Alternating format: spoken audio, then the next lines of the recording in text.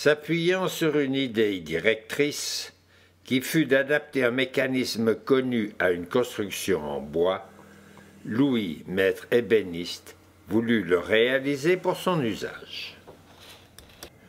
La construction de la plupart des roues et de l'architecture générale ne fit appel qu'à sa maîtrise professionnelle et à son goût à la fois de la belle ouvrage et de son sens inné de l'esthétique.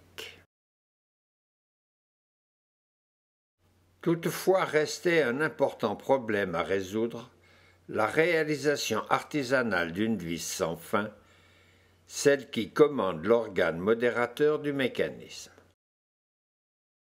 Louis définit le pas de la vis à l'aide d'un papier.